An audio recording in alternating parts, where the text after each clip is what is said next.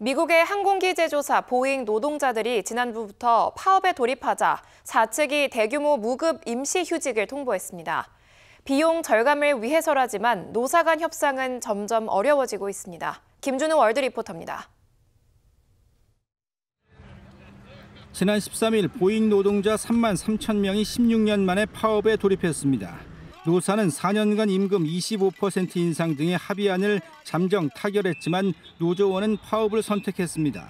애초에 노조가 요구한 40% 인상안과는 차이가 큰 데다 연간 보너스를 삭감해 노조원들이 분노한 겁니다.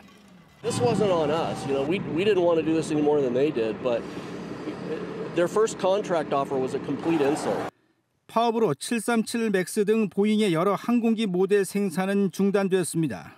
대형 항공기 생산은 전문 기술이 필요한 직업이기 때문에 회사 측은 파업이 끝나기만을 기다리는 수밖에 없습니다. is a huge problem trying to replace those workers because there's not a lot of people that know how to build airplanes, especially these large airplanes around the world. There's a very limited skill set for this. 항공업계는 새 항공기를 구매자에게 인도할 때 구매 대금의 절반 이상을 받습니다. 따라서 파업은 보잉의 현금 흐름에 적지 않은 타격을 입히게 됩니다. 사측은 회사의 현금 보유액을 유지하기 위해 무급 임시 휴직을 시행하기로 했습니다.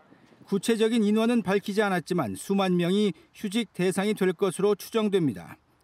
회사의 이런 결정은 노사 협상을 더 어렵게 만들고 있습니다. I think it's a scare tactic and they're blaming us.